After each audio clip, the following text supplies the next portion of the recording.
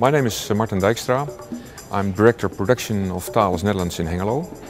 Our company uh, develops and produces military radars for the naval application. Currently some 1500 people are working in Hengelo, of which 350 in the production area.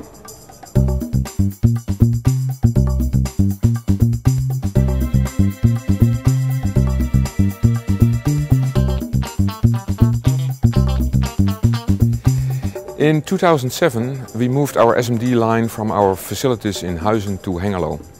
This was a strategic decision to outsource medium-sized series for communication equipment and use the SMT process and others for our innovation of our radars.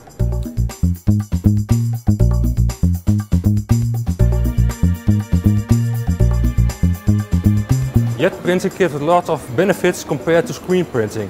It is much more stable compared to screen printing. You don't have influence of the environment and operator. The MY500 gives us much more flexibility.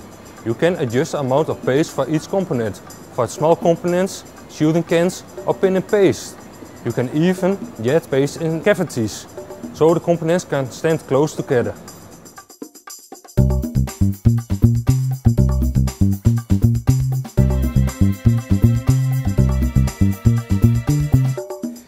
Besides technology advantages, we see uh, cost advantages in lowering the cost of stencils.